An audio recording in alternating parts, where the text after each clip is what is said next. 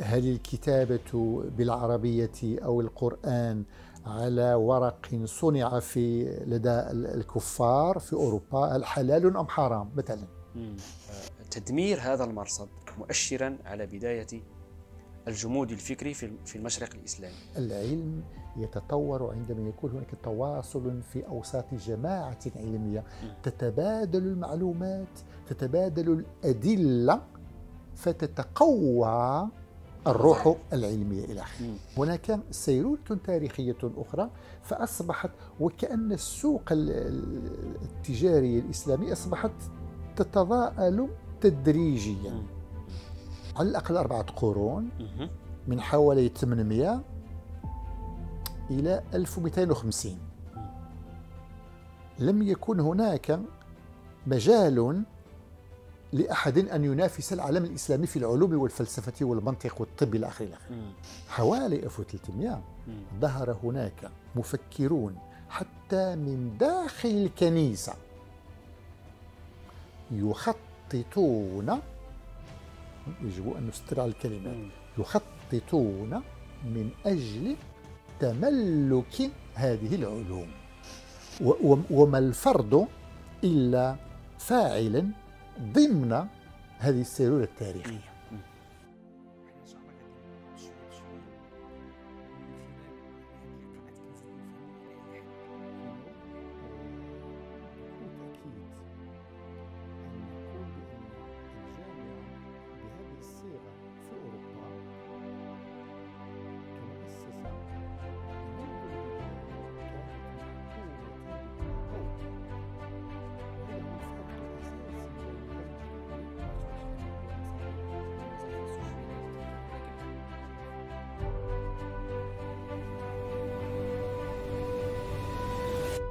معكم أيوب درازة وهذا بودكاست قهوة إبداع. بعد السلام عليكم. وعليكم السلام. أهلا وسهلا سي طاهر. أهلا وسهلا. بزاف واعر تفضل شكرا شكرا. شكرا سي طاهر. إيه. أستاذ بن ناصر أهلا وسهلا بك مجددا. أهلا سي أيوب. آه في الحلقة السابقة آه، قلت إن ابن خلدون لم يؤسس علما من من قبيل علم الاجتماع أو ما يسمى علم العمران. لكن في نفس الوقت قلت إنك لا تأخذ بالرأي القائل إن علم الاجتماع تأسس خلال منتصف القرن التاسع عشر. ما رأيك بتدقيق في تكون السوسيولوجيا أو ما يسمى بعلم الاجتماع؟ نعم نعم شكرا للسي إيوب. هذا هو في الحقيقة من قبيل من قبيل الحذر الابستمولوجي فالعلم لا يتأسس في لحظة زمنية قصيرة. حتى فيما يتعلق بالعلوم الحقة وما يسمى العلوم الحقة. فإذا مثلا لا يمكن أن يقنعنا أحد بأن علم الهندسة قد تأسس في كتاب الأصول لأقليدس لأن كتاب الأصول بالذات هو تتويج لسيرورة تاريخية دامت على الأقل قرن ونصف. نفس الشيء بالنسبة للاستاتيكا مع أرخميدس. نفس الشيء بالنسبة للفلك والفلك ساهم, ساهم فيه مؤسسون كثيرون. إذا فلا يحق أن نقول مثلا بأن علم الاجتماع والعلوم المتعلقة به. قد نشأ مثلا عند منتصف القرن التاسع عشر على يد آه، أوغست كونت وسبنسر وسان سيمون وآخرين فحتى حتى في المتن الذي يعد تأسيسا لأوغست كونت هناك ثغرات. لا نرى تتبع ظواهر في جداول في بيانات هناك بعض التنظير كأن يقول مثلا أن الظاهرة الاجتماعية يجب أن ينظر إليها باعتبارها موضوعا أو شيئا أو شيء من القبيل. مثل هذا الكلام نجده حتى عند القدماء. تجد شيئا منه لدى ابن خلدون المقريزي الفارابي إلى آخره. إذا فالعلوم خاصة هذه العلوم المتشعبة مثل علم الاجتماع التاريخ الاقتصاد علم النفس لا يؤسسه فرد واحد إنما يساهم فيه أفراد عديدون على مدى فترات زمنية طويلة وليست قصيرة. إذا لا ابن خلدون ولا أوغست كونت أسسا علما جديدا إنما هناك سيرورة مفهومية من أجل فهم المجتمع. ولكن ما نحاسب عليه ابن خلدون. ليس هو بالضبط ما نحاسب عليه أوغست كونت. لأن قلنا مثلا عن ابن خلدون وقد أشرنا إلى هذا قلنا أنه لا يمكن لفقيه مالكي محافظ ومتكلم أشعري محافظ. نقول محافظ لأن هناك تيارات داخل المذهب المالكي الفقهي وتيارات داخل المذهب الأشعري. والتصوف في تيارات قلنا ابن خلدون انخرط في ممارسات فقهية ودينية عادية مفهوميا على مستوى المفاهيم لا تسمح له بأن يؤسس شيئا يسمى العلم. لأن العلم أن تتحدث عن ظاهرة ما رابطا إياها بأسباب وملابسات عيانية يمكن أن تشير إليها بوضوح وأن تعبر عنها بالكميات والمنحنيات إلى آخره. هذا لم يحصل لدى ابن خلدون. ولكن أيضا أوغست كونت.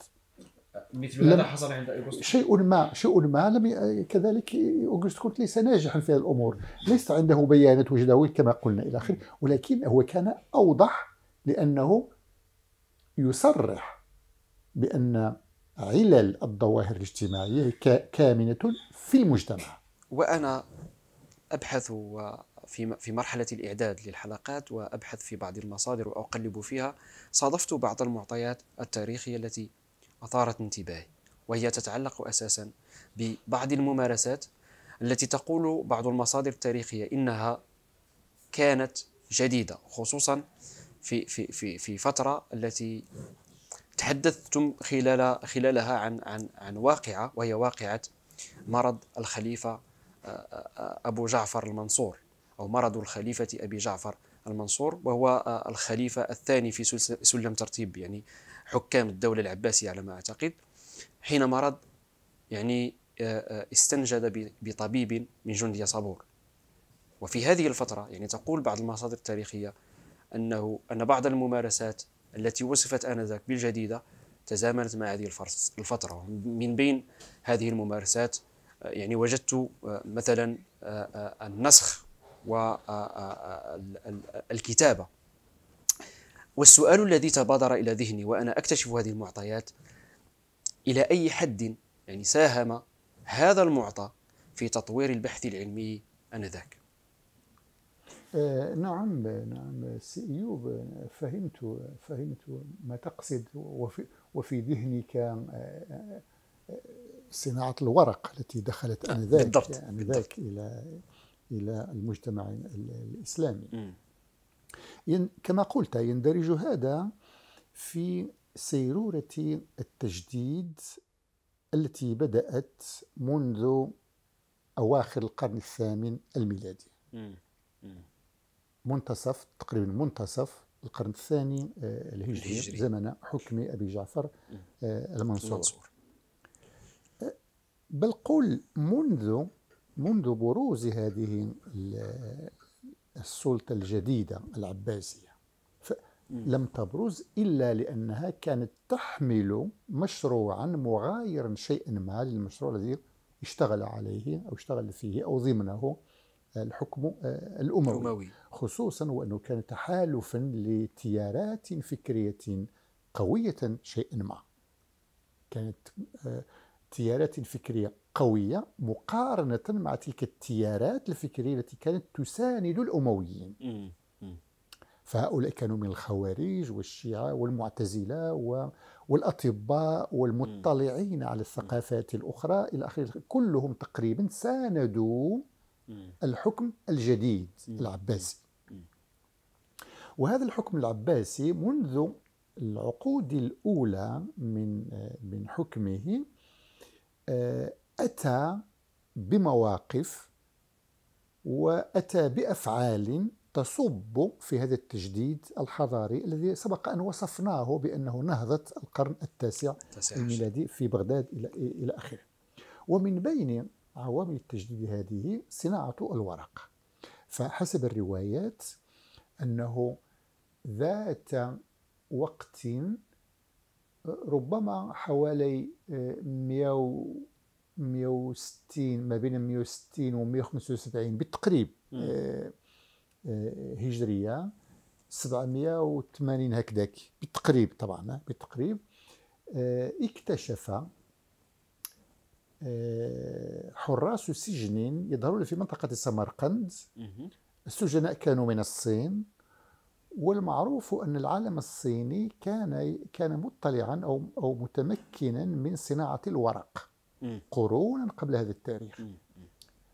فبعد منتصف القرن آه، الثامن الميلادي تعرف المسلمون على هؤلاء السجناء الصينيين واكتشف بأنهم متمكنون من صناعة الورق فاستخدموا في ذلك. فانتقلت صناعة الورق من هؤلاء الصينيين إلى آه، العالم آه، الإسلامي. وبالطبع من الناحية التقنية الأمر بسيط. آه، تحويل الخشب وتكوين عجينة وتجفيفه وإلى آخره. كل هذه الأمور تبدو بسيطة ولكن الورق هذا لابد أن ترافقه صناعات صغيرة أخرى. الريشة المداد إلى آخره. وعندما تجمع هذه الابتكارات البسيطة ستشكل زخما آه، ذي أثر بالغ على صناعة الكتاب وإنتاج الكتاب وتداوله ونسخه وخزنه وتسهيل تناوله حتى في اليد بدل, بدل أن تأخذ جلد الماعز ستأخذ ورقا. إذا لابد أن يؤثر هذا على الفضاء المتعلق بالكتاب برمته. وبطبيعة الحال سيمكن من انتشار الكتاب بأعداد أوفر. إذن هذا هو التحول المتعلق بصناعة الكتاب. ولكن أيضا التحول سبق أن أشرنا بأنه كانت هناك عائلات متخصصة في في الطب مثلا فينتقل علم الطب من جيل إلى جيل في نفس العائلة ويحصل تنافس بين العائلات طبعا نفس الشيء سيحصل في صناعة الورق ونسخ الكتاب إلى آخره آه. هل تحولت آنذاك إلى مهنة؟ يعني؟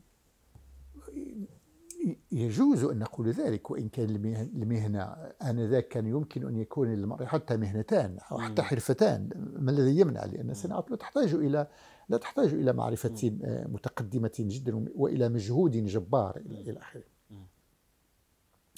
آه، مثلا آه، الكتابة كوظيفة إدارية ولكن ذات أثر سياسي. أيضا تطورت آنذاك. منذ ابن المقفع وابن الحبر الكاتب إلى ابن قتيبة. ابن قتيبة كتب كتابا بعنوان أدب الكاتب. يصف فيه عمل الكاتب الكاتب الرسمي. مثل كاتب الخليفة أو كاتب الديوان أو كاتب الولي إلى آخره. مكلف بالرسائل والحسابات مكلف بأمور شيء ما. تحتاج إلى معارف تقنية وحتى معارف لغوية وأسلوبية. لأن أن تكتب رسالة سيوقعها الخليفة ويبعث بها إلى حاكم آخر. طبعا هنا الأسلوب يلعب دورا ومعلومات الكاتب التاريخية والجغرافية وحتى الفلسفية سيكون لها دور لأنك لأن الرسالة مرآة لعظمة أو عدم عظمة آه، حكم معين إلى آخره إلى أي حد آه، ساهم هذا الاكتشاف القديم في شرق الأرض كما قلت الجديد في المنطقة الإسلامية في تشكيل نقلة نوعية في تطوير النظرية العلمية؟ آه، هو هو فيما يخص الفاعلية العلمية كانت ذات مسلك مسلك آخر. متعلق بالترجمة. ولكن بما أن الترجمة ستكتب. وستكتب أكيد. على الورق إذا سيكون الورق قد ساهم ولو بقسط ما بكيفية غير مباشرة في هذا الزخم الفكري مم. الذي آه، اسميناه بالنهضة الفكرية مم. العامة خاصة في باب العلوم وأيضا وأيضا في في- حتى في في الموسيقى مثلا مم. في الموسيقى وفي آه، وفي ال- ال- الخط التفنن في الخط. الورق يسمح به أحسن من الجلود. وكم حيوانا يجب أن تقتل لتحسن الخط مثلا؟ في حين أن في الورق الأمر يتعلق بمنتوج من الأشجار إلى آخره إذن فهو تحول حصل.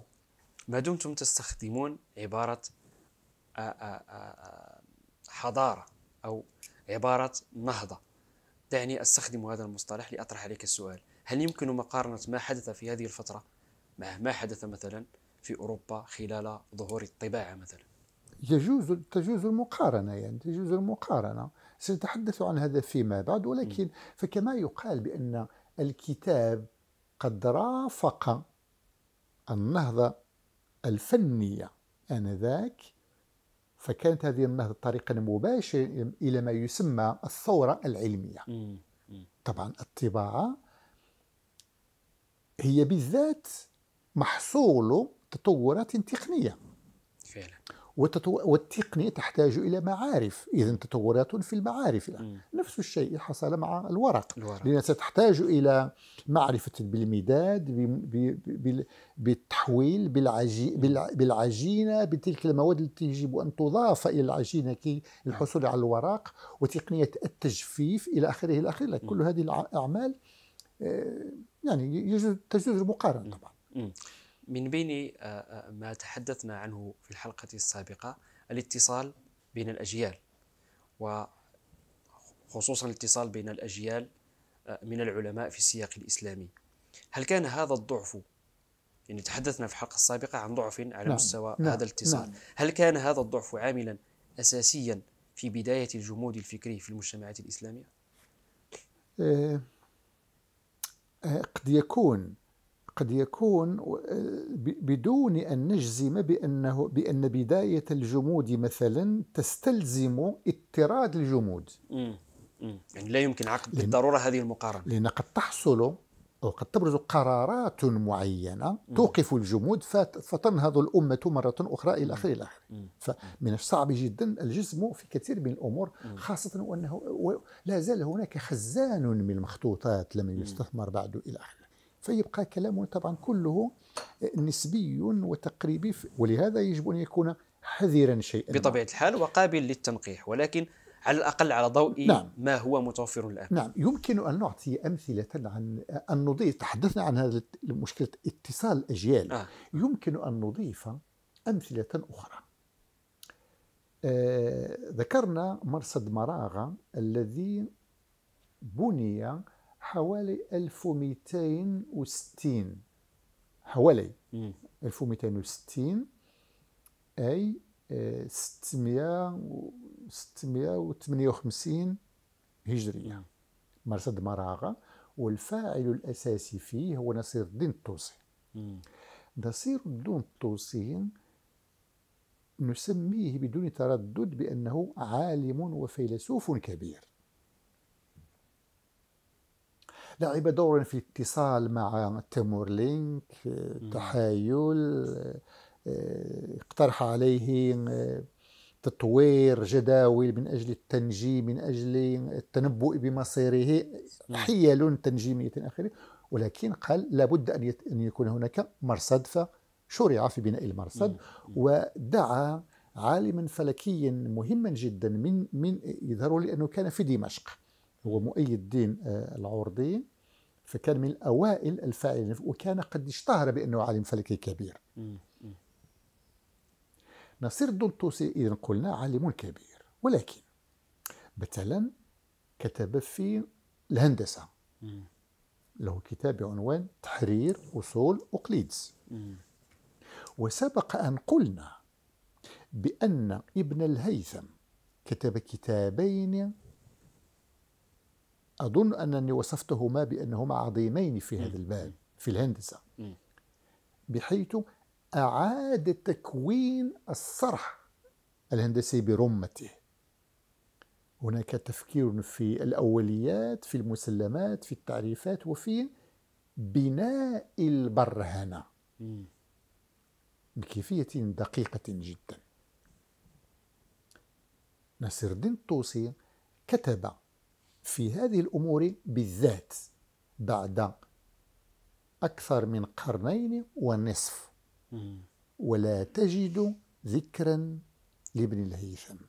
وحتى إذا ذكر فإنه يذكر دون أن يعطي دليل على أنه اطلع على الكتابين من تأليف ابن الهيثم. هذا في الرياضيات. ونصير طوسي أيضا كتب في البصريات. لست أدري تح... عنوان عنوان طوسي في البصريات تحرير كذا كذا. المهم له كتاب في البصريات.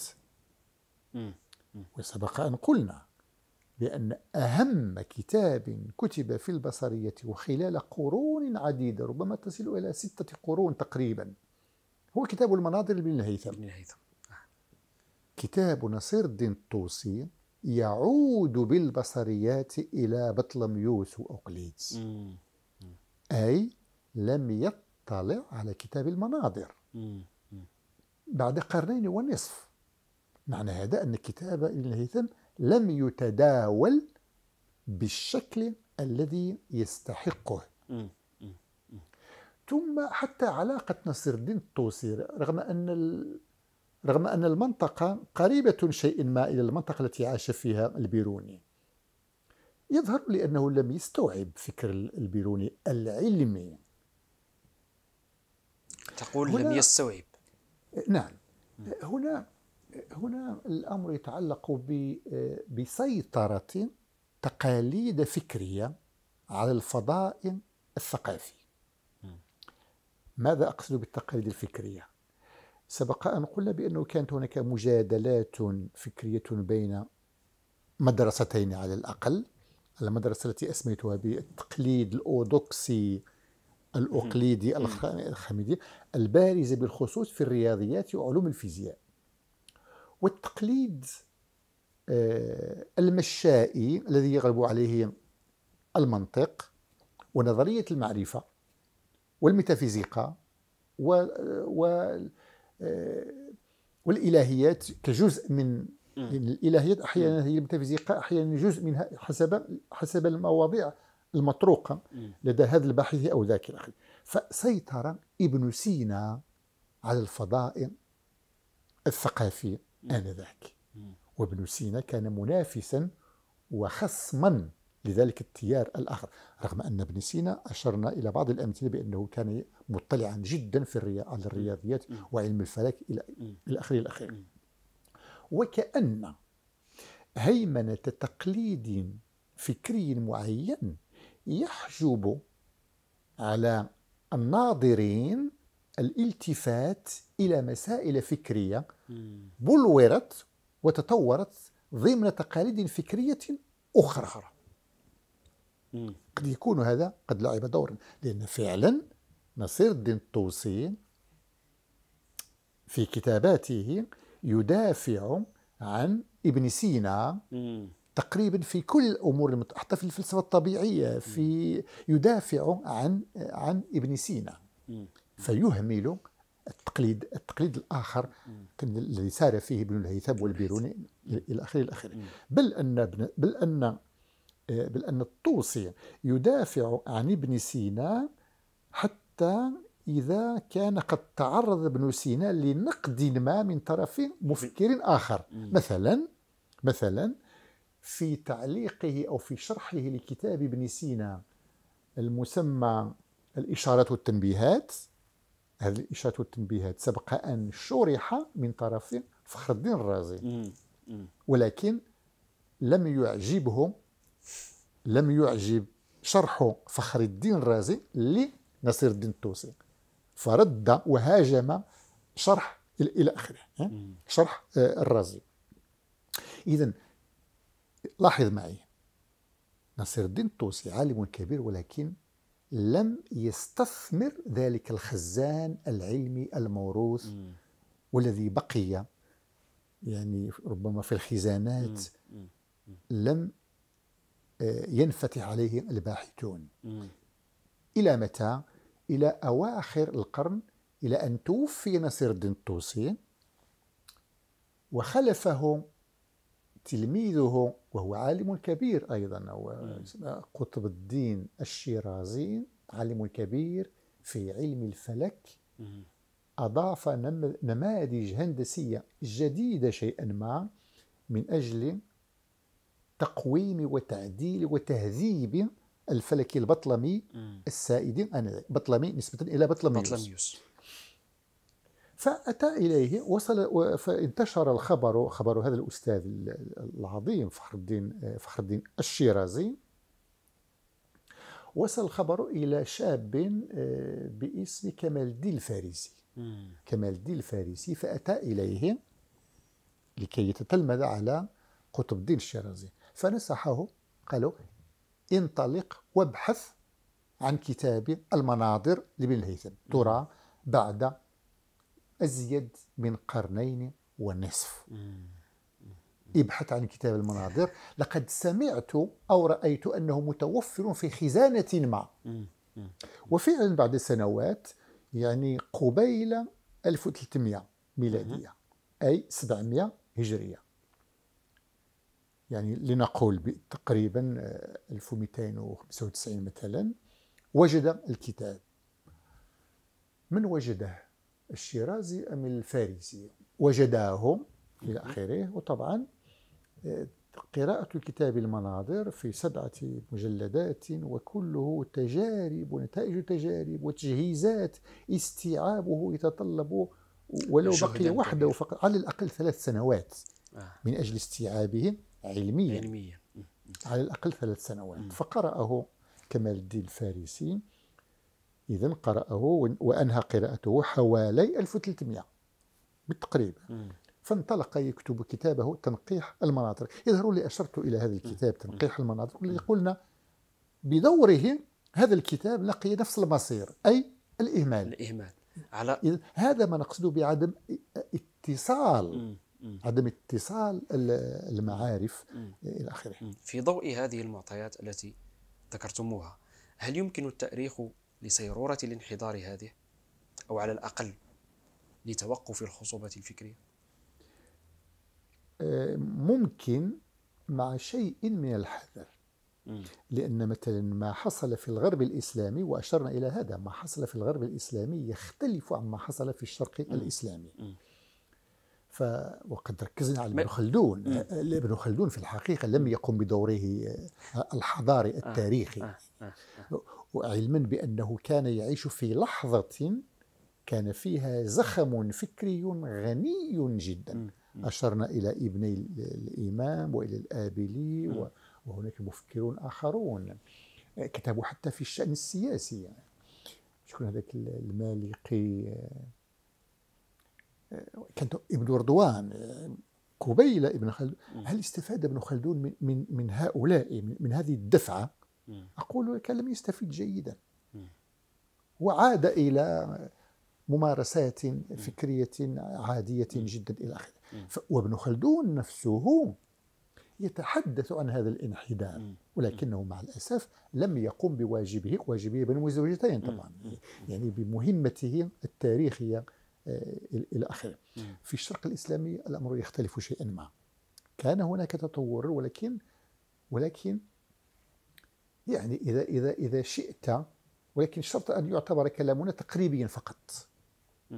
بداية الانحدار في الغرب الإسلامي حوالي 1300 منتصف القرن الرابع عشر. في حين أن بداية الانحدار في الشرق الإسلامي منتصف القرن الخامس عشر. أه، في الغرب الإسلامي لماذا نقول منتصف القرن الرابع عشر؟ لنذهب إلى ما كان يجري في فاس مثلا زمن الحكم المريني الحكم المريني بدأ عند منتصف القرن الثالث عشر. طبعا الحكم يستقر يحتاج إلى إلى زمن لكي يستقر. فعلا. محاربة الموحدين وورثة الموحدين إلى آخره. فنقول استقر شيئا ما حوالي حوالي 1265 بالتقريب أو 1270 لمجرد أن استقر, استقر الحكم المريني بدأ في في بناء مدارس جديدة. مدارس كثيرة. في فاس وحدها لست أدري كم مدرسة بنيت. ومدرسة في مكناس واحدة في سلا واحدة في مراكش واحدة في في مناطق كثيرة واحدة ربما حتى في تازة إلى آخره. وانطلق ما كان يسمى بالمناظرات. المناظرات فقهية كلامية علمية ويستدعى علماء حتى من خارج المغرب ومن الأندلس آنذاك. معنى هذا أنه كانت هناك دينامية فكرية. ولكن بعيد منتصف القرن الرابع عشر لنقول بالتقريب 1350 و60 حصلت أزمات كبرى في الحكم البريني اضطرابات داخل نفس العائلة المرينية ثم أتى الوباء العظيم. واحد كورونا ديال ذاك الوقت هو أخطر. حوالي 1350 وبقي وبقي الوباء لسنوات ولكن هذا الوباء أيضا كان عالميا. حتى في أوروبا آه عاش في, في أوروبا ودمر فمات العشرات من العلماء المغاربة. علماء العشرات من العلماء ماتوا. ذهبوا ضحيه هذا الوباء. نعم. ثم في حملة لأبي الحسن المريني إلى تونس عند رجوعه غرقت سفينتان يظهر أو على الأقل سفينة واحدة فمات فيها علماء. في نفس الحقبة التاريخية 1350 51 52 إلى آخره آه، التواريخ طبعا آه، تقريبية. فكانت ضربة قوية لتاريخ الأفكار في المغرب. إضافة إلى الأزمة السياسية إضافة إلى هذه الأمور كلها فحتى المناظرات لم تعد بذلك الزخم المعرفي. إن كانت هناك مناظرات فكانت مثلا مناقشات لبعض الأمور يمكن أن نسميها تقريبا آه، تقريبا آه، مبتذلة تقريبا. تصور أنه من بين المناقشات التي كانت تجري آنذاك مناقشات حول آه، هل الكتابة بالعربية أو القرآن على ورق صنع في لدى الكفار في أوروبا هل حلال أم حرام؟ مثلا. هل آه، جلوس الأستاذ على مقعد لكي يكون أعلى من الحاضرين حلال أم حرام؟ مثلا مثل هذه الأمور. إلى هذا الحد وصل. إلى هذا الحد تصور أنه كان يوظف المنطق المنطق كان يفترض قلنا أن المنطق يهتم بترتيب الأقوال.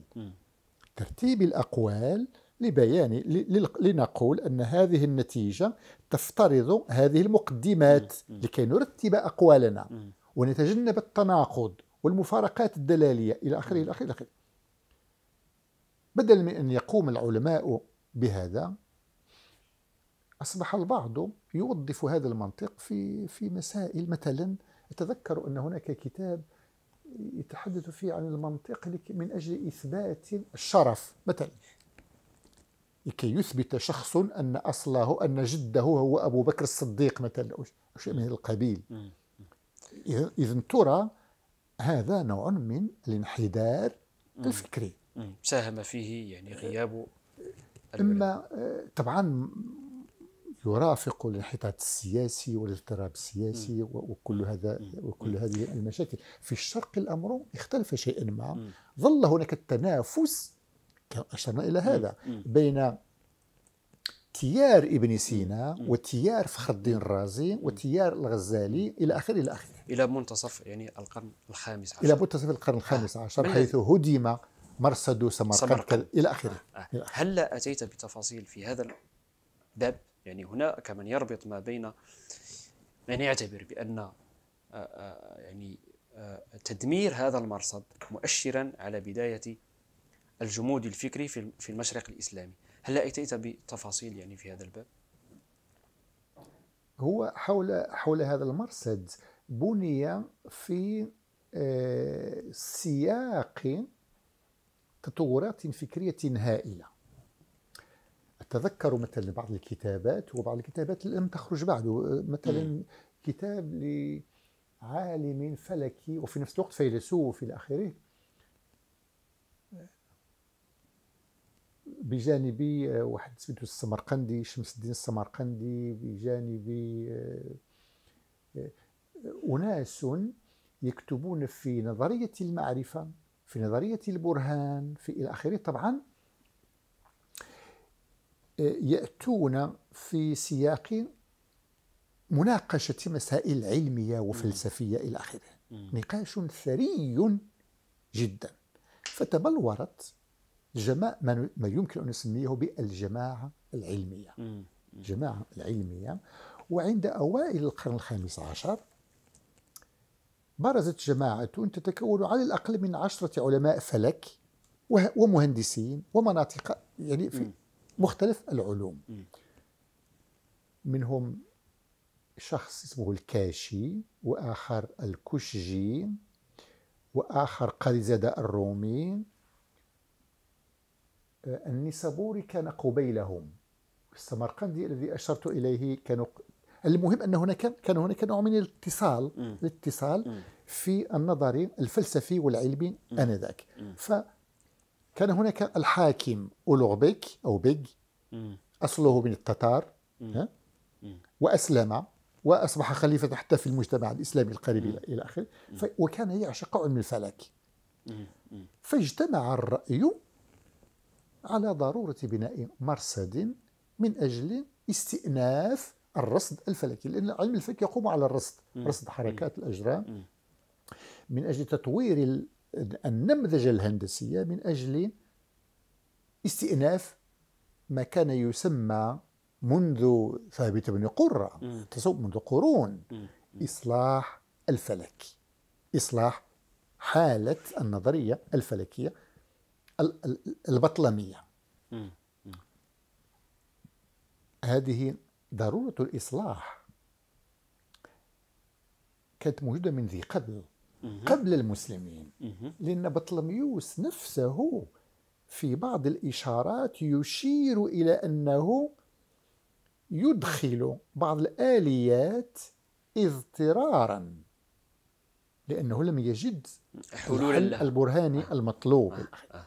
فطبعا فصارت الأمور على هذا الشكل. مثلا ما كان يسمى بنقطة المعدل أي أن الأجرام السماوية لا تتحرك حول مركز بذاته بل حول نقطة مصطنعة هندسية. لماذا؟ لأن نلاحظ أن أن حركة الأجرام ليست منتظمة 100% أتينا بمثال فيما سبق يعني بمثال عطارد والزهرة مثلا. واضح أنهما لا يتحركان حول الأرض. إلى آخره. فخلقت لست أدري إن كان يجوز أن نسميه بلبلة هندسية يعني وإن كان المصطلح شوية ثقيل. آه. إلى آخره. فطبعا الأمر يستدعي استئناف الرصد واستئناف النمذجة الهندسية. فبني هذا المرصد. حوالي 1420 يظهر لي حوالي 1420 وطبعا است... طبعا البناء لابد أن يأخذ سنوات. مرصد وتجهيزات ب بال العدسات من أجل مراقبه الأجرام. على الأقل ثلاث سنوات. وبدأ في العمل. لست ادري حوالي 20 سنة أو أو 25 أو أقل أو أكثر فبرزت فتاوى فقهية تتهم هؤلاء ب وخصوصا وأن وأن الإمبراطور أولوبيك قد توفي آه. آه. آه. فوجد الفقهاء الفرصة سانحة لإصدار فتاوى ضد هذا المرصد وفعلا هدم المرصد لا أعرف بالضبط حوالي 1445 بالتقريب 1445 إذا لاحظ نحن عند منتصف القرن الخامس عشر. فكانت ضربة قوية لأن ترى هدم المرصد. ماذا سيكون مآل ذلك العلماء؟ طبعا سينزوون كل واحد في في في جانب إلى آخره وسي وسيقل ستقل كثافة التواصل العلمي. قلنا أن العلم يتطور عندما يكون هناك تواصل في أوساط جماعة علمية. تتبادل المعلومات تتبادل الأدلة فتتقوى الروح العلمية إلى آخره.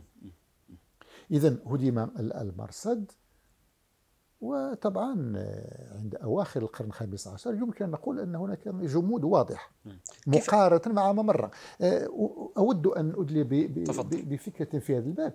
آه، قلت لك سبق أن قلت بأن بعض الناس يتحفظ من من الحديث عن هذا الجمود. يقولون لا لم يكن هناك جمود. ثم مقارنة مع ماذا؟ نقول مقارنة مع ما سبق. على ذكر هؤلاء فعلا هناك بعض الباحثين الذين يتحفظون أو لا يقبلون الاعتراف بحدوث تراجع حضاري للمجتمعات الإسلامية. لماذا لا يقبل هؤلاء هذا؟ في نظرك. هو أن البعض لا يقبل الإقرار بتراجع هذه لأنه لأن هناك أمور قد لا يصرح بها. فهناك من يتحفظ من دور الفقهاء مثلا. تأجيلا للأمر لكي يربط بعدو خارجي. آه يعني لكي لكي يقال بأن بأن الجمود الحضاري في في المجتمعات الإسلامية حصل نظرا لحصار خارجي مثلا. يعني بفعل تدخلات خارجية. تدخل أي لإبراز العوامل الخارجية. آه. وأنا لا أتفق مع هذا الطرح. كيف تشخصون هذه المسألة؟ هناك عوامل خارجية. ولكن هناك عوامل داخلية هي الفاعلة والحاضرة أساسا أساسا. كيف؟ لنقارن مثلا على المدى على مدى ثلاثة قرون مثلا. لنأخذ من 1200 إلى 1500 ثلاثة قرون. في التجارة مثلا. التجارة آنذاك خلال ثلاثة القرون 1200 1500 التجارة العالمية كانت كان صلبها هي البحر الأبيض المتوسط. موانئ جنوة البندقية الإسكندرية صيداء في لبنان مليليا تونس. إذا موانئ وتبادل التجارة والبضائع إلى آخره. فكان هناك تنافس ولكن أيضا كان التنافس يلبس لباسا سياسيا لأن لأنه آنذاك صعود الإمبراطورية العثمانية.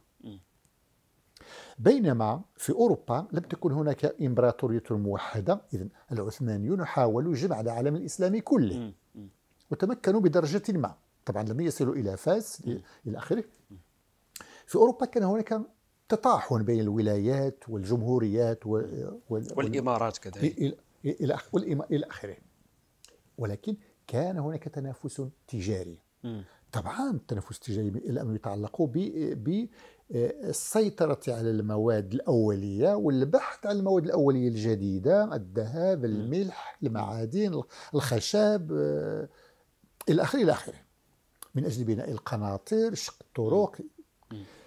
أعمال التحضيرية آه، الضرورية آه، آنذاك. إذن فالمسألة فيها تنافس. وحتى إذا قلت مثلا أن قوة أجنبية قد حاصرت لنفرض قد حاصرت إمارة تونسية مثلا إلى آخره فهذا لا يعني بأنه اعتداء. أيضا كان كان غرض الإمارة التونسية هو أن تنافس الآخرين. فالأمر مسألة إذن موازين القوى. إذن في موازين القوى العوامل الداخلية حاضرة. حاضرة وليست إذا لم تكن قويا من الداخل فستتعرض ل... نعم.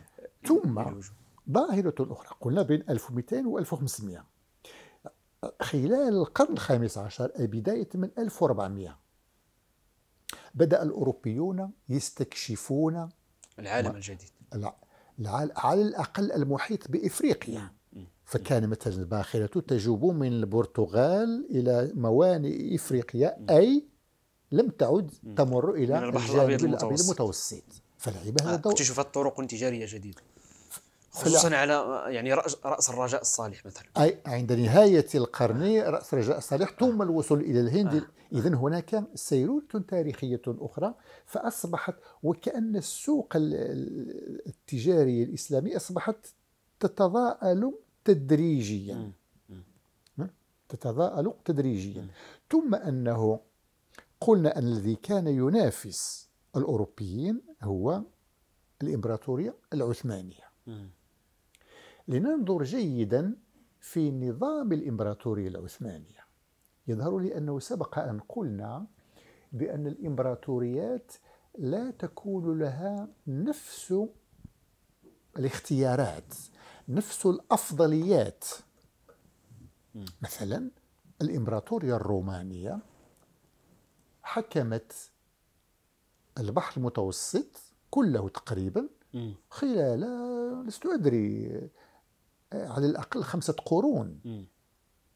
تصور خمسة قرون من الحكم الروماني لم يبرز فيلسوف في قامة أفلاطون أو أرسطو أو وحتى جالينوس الذي اشتغل ضمن الإمبراطورية الرومانية هو في الحقيقة ينتمي إلى الإرث الإغريقي اليوناني وليس إلى الروماني.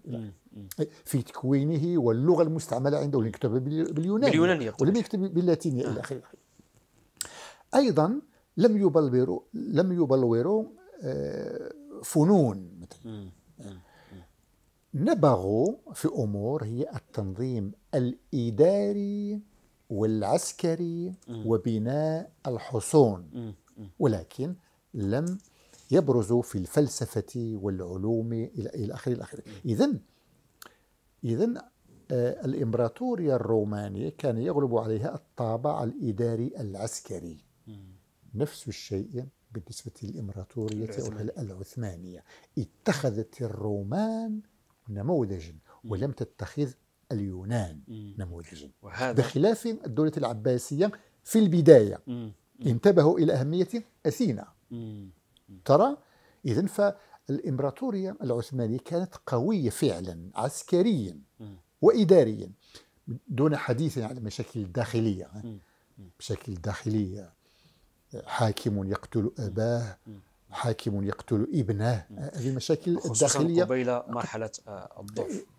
فالعثمانيون لم يطوروا علوما ولم يطوروا فلسفة رغم أن المذهب الغالب آنذاك في تلك المناطق هو المذهب الحنفي والمذهب الشافعي. أي في البداية كان الحن قلنا خصم الفلسفة والعلوم العقلية هم الحنابلة وليس الح... وليس الآخرون إلى آخره. رغم ذلك العثمانيون لم يطوروا علوما. مثلا ظهرت الطباعة في أوروبا حوالي 1450 رفضها العثمانيون. ورغم أن هناك أقليات ثقافية مثلا اليهود والمسيحيون في أحضان الدولة العثمانية كان يمكن أن يدخل أن يدخلوا آه، تقنية الطباعة. طبعا كانت ترفض. كانت ترفض. إذا إذا كأنهم يرفضون التجديد في هذه الأمور. ظهر بعض العلماء ظهر بعض العلماء وبنوا مرصدا آخر وربما كان آخر مرة في في إسطنبول هذه المرة. كان هناك العالم الذي آه، أخذ المبادرة تقي الدين تقي الدين بن معروف تقي الدين بن معروف أصله سوري.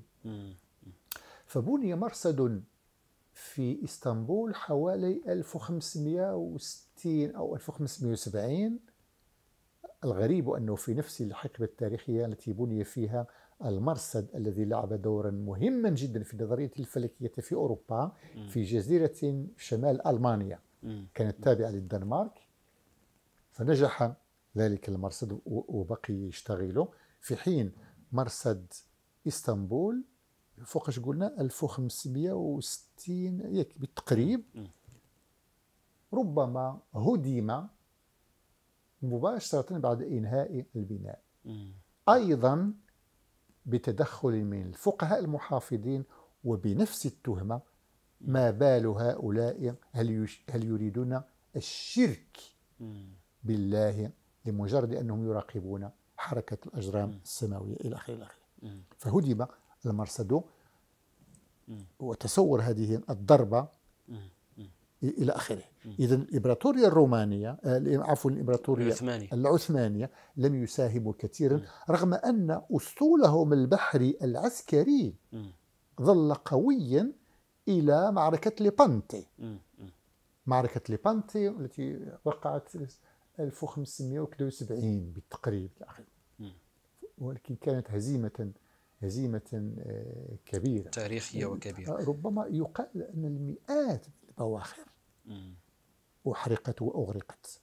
تصور عظمة هذه الخسارة بالنسبة للدولة. بالطبع بالطبع. ولكن في ولكن لنؤكد في العلوم والفلسفة كذا لم يقوموا بشيء كبير. طبعا نسبيا نسبيا. ظلت بعض الأمور مزدهرة مثل صناعة الثوب مثل ربما آه، صناعة العطر ربما بعض الأمور آه، المنمنمات الكاليغرافيا ولكن في العلوم ما يسمى العلوم العقلية لم يساهموا بقسط مهم جدا إلى آخره فيجوز أن نسميه جمودا. ماشي عيب. والحديث عن عن عن الجمود ماشي سبان. إقرار بمسائل تاريخية. آه آه. في مقالة لك صدرت عام 2005 حول الثورة العلمية في أوروبا. خصوصا وهذه آه، المقالة تناولت الفترة خلال القرن السادس والسابع عشر. يعني خلال القرن السادس عشر والقرن السابع عشر. ختمت هذه المقالة بطرح السؤال لماذا لم تحصل الثورة العلمية أو التحول المفهومي الذي يعبر عنه المفهوم لماذا لم تحصل هذه الثورة في العالم الإسلامي؟ هل قدمت لنا جوابا عن هذا السؤال؟ آه نعم سندلي ببعض الملاحظات شرط أن لا يعتبر جوابا نهائيا لأن الأمر آه يحتاج إلى مزيد آه قلت أن لا زالت المخطوطات تبرز من حين لآخر فتأتي بإغناء إغناء آه، وتقدم الفهم فعلا لماذا طرحت هذا السؤال في تلك المقالة؟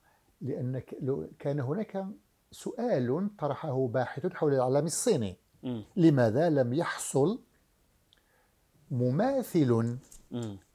للتحول الذي حصل في أوروبا لماذا لم يحصل في العالم الصيني م.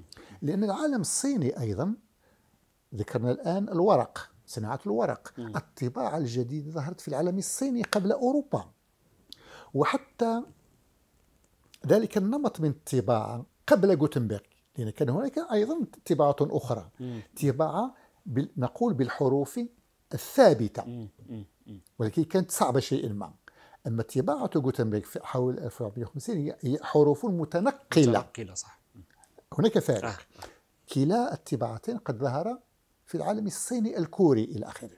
ولكن لخصوصية اللغة الصينية هي لغة ماشي أبجدية. فعلا. هي رموز. هي رموز. اذا اذا اذا تحتاج هذه التقنيتين التقنيتان معا إلى مئات الرموز في بينما اللغات ذات الحرف الأبجدي أسهل, أسهل.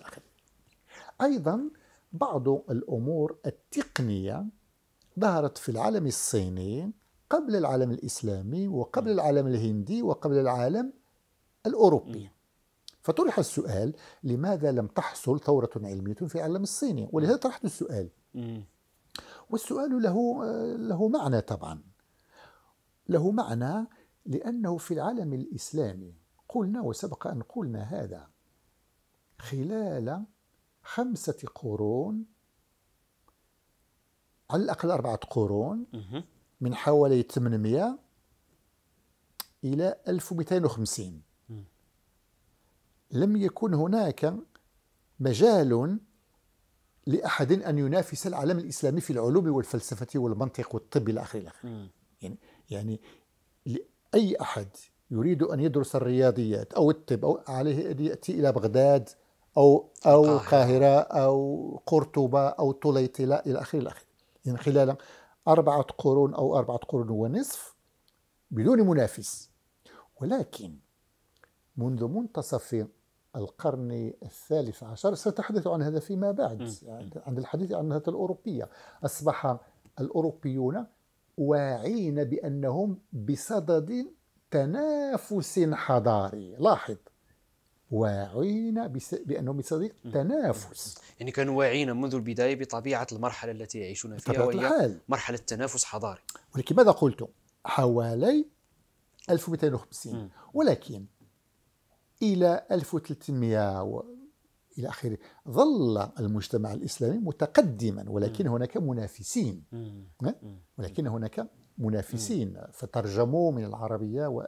وإلى آخره. ولكن إذا أتينا إلى 1350 مثلا هنا سنعطي صورة توضيحية. لا, تخلو من كاريكاتورية. تفضل. بقية أو بقية المجتمعات الإسلامية متقدمة مقارنة مع العالم الأوروبي والصيني. ولكن كيف؟ بكتب ولكن مقيدة في خزانات. قلنا لا تتداول. لا تتداول. هناك مشكلة التواصل والاتصال. آه. آه. إذا من حيث المعلومات في الكتب هي موجودة. موجودة. ولكن, ولكن لا, لا, لا يتم تناقلها. في أوروبا حصل العكس تماما.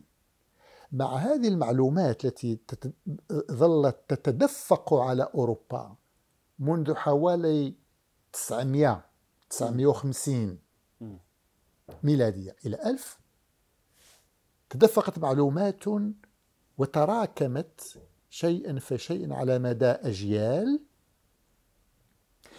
وحوالي 1300 حوالي 1300 ظهر هناك مفكرون حتى من داخل الكنيسة يخططون يجب أن نستر على الكلمات يخططون من أجل تملك هذه العلوم. لاحظ في حين أن التخطيط عندنا في العالم الإسلامي اضمحل شيئا ما. استثناء أولغبيك الذي قلنا أنه بنى أمر أو شارك في بناء المرصد لأنه هو كان يعشق علم الفلك ولكنه لمجرد أن مات هدم المرصد إلى آخره. إذا حتى المخططون تراجعت سلطتهم وتراجعت وتراجع نفوذ كلمتهم. بينما في أوروبا مثلا مثلا حوالي 1320 نجد حركة فلسفية ومنطقية غنية جدا يساهم فيها أساتذة وكتاب ومؤلفون من قوميات متعددة. ترى يذهب إسباني من شبه جزيرة إيبيريا إلى بولندا ويذهب إنجليزي إلى شمال إيطاليا. أي كثافة الاتصال بين هؤلاء تكثفت بكيفية بارزة. فتبودلت المعلومات وكان هناك نقاش بين علماء اللاهوت الفلاسفة المناطق وبرزت أسماء ساهمت مساهمة فعالة جدا في تملك المعرفة العلمية. يمكن أن يمكن أن نأتي بعشرات الأسماء. من هؤلاء الفاعلين في في الشأن العلمي أوكام وأوتروكور وبوريدان وأوغام العشرات من الأسماء. هؤلاء طوروا النقاش العلمي وأصبحت وأصبحت المناقشات في شأن مثلا ترتيب الأدلة. الزخم الاستدلالي في العالم الإسلامي كان أقوى وأبرز. ولكن هذه الأمور البسيطة كانت منعدمة. ترتيب نرتب الأدلة. أي الدليل أقوى؟ فنجده في العالم اللاتيني. يتطور شيئا فشيئا. إلى درجة أنه يمكن أن نقول بدون تحفظ أنه عند منتصف القرن الرابع عشر ترسخ التقليد العلمي. وأصبح واع ترسخ التقليد العلمي وأصبح واع بأنه ينافس تقاليد فكرية موجودة في في بلدان أخرى إلى آخره إلى فصار البحث العلمي في أوروبا نقول مضطردا. معنى مضطرد أي بدون تراجع. أخذ منك أستاذي هذا الوصف لأقول هنا تنتهي رحلتنا مع تطور العلوم خلال الفترة الإسلامية على وأشكرك جزيل الشكر. نعم ولكن لم لم أجيب عن السؤال لماذا لماذا لماذا تفضل. لم تحصل لماذا مثل ما حدث في في في أوروبا لماذا لذلك؟ لا قد لا نسميه الثوره العلميه إلى آخره ولكن مماثل لذلك في العالم الإسلامي. اذا قلنا انحصار العمل الاقتصادي. انحصار. هذه تلك الصراعات ما بين الشيعة والسنة ظلت مستمرة. ثم تزايد سلطة الفقهاء المحافظين. وحتى إذا ظهر اسم ما مثل بعض المفكرين مثل ابن تيمية مثلا. ابن تيمية هو في في النظر الرسمي ابن تيمية محسوب على المذهب الحنبلي المحافظ. ولكن على على الأقل ابن تيمية كان باحثا. انتقد نظرية القياس الأرسطية وما يلحق بها من تصورات الإبستمولوجية في كثير من الأمور كان ابن تيمية مصيبا في ذلك ولكن طبعا هو تجميع لملاحظات سابقة. لأن نقد نظرية القياس الأرسطي كان منذ منذ ناشئ منذ المعتزلة والشيعة وآخرين إلى آخره فجمع تلك الانتقادات ووجه نقدا لاذعا لارسطو وأغلب الانتقادات على صواب. ولكن هل خط هل خط مشروعا بديلا؟ لم يخط مشروعا بديلا. وظل لجوءه في آخر المطاف إلى الفقهيات. ولم يتجاوز مثل الأمور إلى درجة أنه اتخذ موقفا محافظا حتى من علم الفلك حتى من الرياضيات. كأنه سار على في, في هذه النقطة بالذات على خطى الغزالي رغم الاختلاف بينهما لأن الغزالي تبنى المنطق وابن تيمية انتقد المنطق. ولكن في هذا في الموقف من العلوم العقلية إجمالا كان خطابهما منسجما. تقريبا تقريبا نفس الخطاب. حذر من التعمق مثلا في الرياضيات والفلك. وسبق أن أشرنا إلى أن هناك بعض المسائل النظرية التي ينشغل بها عالم الرياضيات عندما يصل إلى مستوى معين كأن يتحدث مثلا عن آه، السلاسل في علم في الأعداد. ما هو العدد؟ آه، إلى آخره. بالنسبة للفقيه المحافظ هذه مضيعة للوقت لأنه علم غير نافع. فلعبت هذه العوامل كلها الدور من أجل هذا التراجع الحضاري وعدم حصول ثورة علمية رغم أن كل الشروط كانت متوفرة منذ متى؟ منذ منتصف القرن الخامس الهجري. أي زمن ابن الهيثم والبيروني والآخرين. الآخرين كانت كل العوامل متوفرة هل تعتبر أننا في هذه الفترة بالذات ضيعنا فرصة تاريخية بناء صرح معرفي. وهذا تاريخ هذا تاريخ يعني لكل لكل ظرفية مبرراتها وحيثياتها. ولكن أخطاء ارتكبت بالتأكيد بالتأكيد ارتكبت. لكن لا, لا نحمل المسؤولية للأفراد الغزالي كما فعل أحيانا أو ابن تيمية كما وإن إنما هي هي السيرورة التاريخية هكذا وما الفرد إلا فاعلا ضمن هذه السيرورة التاريخية. تلك أمة قد خلت وضمن نفس السيرورة التاريخية بعد أن يعني تذهب أمة تأتي بعدها أمة أخرى وهي ما تحدثت عنها. يعني أعطيت حولها بعض الإشارات في هذه الحلقة حول ازدهار الفكر العلمي في في في الحضارة الأوروبية. أشكرك جزيل الشكر على كل هذه التوضيحات وأعلن نهاية رحلتنا مع تطور العلوم خلال الفترة الإسلامية لنقدم إن شاء الله توضيحات أكبر بخصوص تطور العلوم في الفترة الأوروبية خلال الحلقة القادمة. شكرا جزيلا. شكرا سي أيوب. شكرا. متابعينا الكرام شكرا جزيلا لحسن متابعتكم ونلتقي في الحلقة القادمة. دمتم في رعاية الله.